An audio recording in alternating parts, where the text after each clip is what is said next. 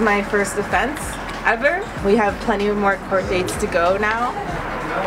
I just want everyone to know that what I'm, I'm more afraid of than jail right now is what happens if we don't take action against Line 9 at this point. Every five to six days they have a leak. Every five to six days they have the leak over a period of 10 years. This pipeline is happening without consultation, without consent. The two Chippewa Thames are going to the Supreme Court right now. They need your support. Please donate to them.